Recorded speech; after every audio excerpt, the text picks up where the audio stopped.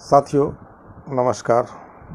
अन्य दिनों की भांति आज मैं आपके सामने एक छोटी सी मामूली विषय रख रहा हूँ और छोटी छोटी को इकट्ठा कर देने के बाद वह एक बड़ा सा टुकड़ा हो जाता है। भाव मेरा यह कहने का, कोल्ड, कोरेजिया, कोल्ड कैटरा या कोरेजिया। या इसको साधारण देहाती भाषा में सर्दी कह दें। उस सर्दी में तो वैसे सर्दी खांसी तो लंबी विषय है बाद में देखा जाएगा लेकिन छोटी सी ऑप्शन मैं आपको एक बताता हूँ। इस नाक का बंद हो जाना। आ, नाक का बंद हो जाना। मुँह से सांस लेना। छींकने की प्रयास करना छीका नहीं जाता है। या नाक से सांस नहीं ली जाती है, दोनों नाक जैसे जाम हो जाता है। ये मेहमान है सेवाडिला का। होम्योपैथिक दवाई है, एक सेवाडिला। सेवाडिला का ये मेहमान है। अच्छा ठीक है। तो नाक हमारा जाम है, हम सेवाडिला ले लिए। अब इसके साथ इसको हमने छोटी सी बात तो बताई, लेकिन इसमें खुदरा ऑप्शन, ऐसा ऑप्शन है। अब देख लीजिए। रात में जैसे सोए, नाक दोनों बंद हो गया। दिन में इस नाक से पानी जा रहा है। दिन में नाक से पानी जा रहा है और रात में नाक बंद हो गया। ये नक्श भूमिका का फ़ेज़ है। ठीक है। तो दिन में नाक बहना और रात में नाक बंद। नक्स का फ़ेज़ है, दिन में नाक बंद, सवाडिला का फ़ेज़ है। आ, रात में किसी भी प्रकार की परेशानी जो उग्र हो जाती है, वह सिफलिनम का फ़ेज़ है। जबकि सिफलिनम एक नोसोड है। रात में कोई भी परेशानी जो समतल में है और रात में वह उग्र हो जाता है इसके लिए सिफलिनम वहाँ इसकी ज़रूरी है। अच्छा आइए। अब आप देखे होंगे कुछ लोगों को या स्वयं आप लोग भी अनुभव किए होंगे कभी तो ये नाक बंद है और ये नाक जब फ्री हुआ तो ये नाक बंद हो गया। आ, ये बंद हुआ तो ये फ्री हुआ ये बंद हुआ तो ये फ्री हुआ।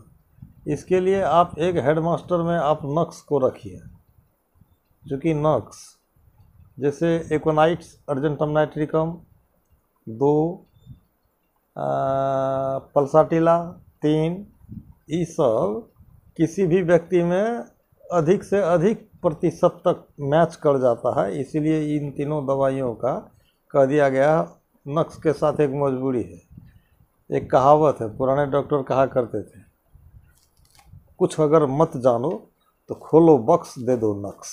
इसका मतलब है कि नक्स का काम जो है ना, नब्बे प्रतिशत क्षेत्र में यूँ भी होता है। अच्छा ठीक है। तो हमने कहा कि एक नाक बंद और एक नाक खुला हुआ। ये बंद तो ये खुला हुआ। ये आपको एक मेडिसिन होती है होम्योपैथिक में लेक कैनाइनम लेक कैनाइनम और उसके बाद मान लीजिए नक्स थोड़ा सा इसको आगे रखिए। नक्स और लेक कैनाइनम ठीक है। अब इसके बाद, आज भी आपको सर्दी है, कल भी सर्दी है, परसों भी सर्दी है, लेकिन एक चीज़ गौर कीजिए, अगर शाम के चार बजे से आठ बजे के बीच में इस रोग का पदार्पण हुआ है तो ये लाइकोपोडियम क्लेवेंटम का क्षेत्र है। और लाइकोपोडियम क्लेवेंटम का प्रयोग भी कभी भी करनी चाहिए, थोड़ी सी उच्च शक्ति में करनी चाहिए, और इसका समय भी होता है चार बजे से लेकर आठ बजे रात तक में। माने संध्या। कुछ दवाइयाँ ऐसी है जिसका समय है इसमें, जैसे ब्रायोनिया है। इसके लक्षण सुबह में सामने आता है। नक्श भूमिका है। इसका रियली टाइम है प्रयोग करने का रात में सोने से दो मिनट पहले। चाहे वह नौ बजे का हो, वह दस बजे का हो। जैसे एक बीमारी है सेम्बुकस, इसका प्रयोग रात के बारह बजे में होता है। आर्सेनिक एल्बम है, इसका रोग उग्र होता है साढ़े दस टू बारह बजे के बीच में। एक दवाई है, मैं बीमारी का नाम नहीं ले रहा हूँ, चाहे आपका सर्दी हो या खांसी या दमा हो या सांस, या कमर दर्द हो या कमज़ोरी हो या बुखार, काली कार्ब जितना ज़्यादा काम करता है आपको सुबह में तीन और चार बजे के बीच में, उतना काम अन्य समय में ये नहीं करता है। ये कुछ दवाइयों का समय है। तो ठीक है, सर्दी के विषय में जो हमने आपको बताया नक्स, शवाडिला, लेक्केनाइनम, लैकोपोडियम। ये चार दवाई का प्रयोग करें।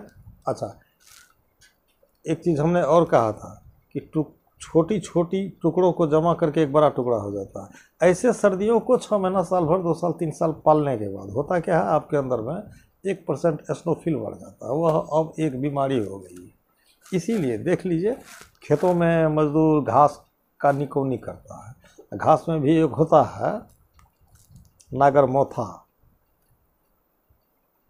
उसका इतना छोटा टुकड़ी भी सिर अगर बच जाता है तो सिर्फ़ हफ़्ता दिन के अंदर में फिर वह बढ़ के उतना ही बड़ा हो जाता है।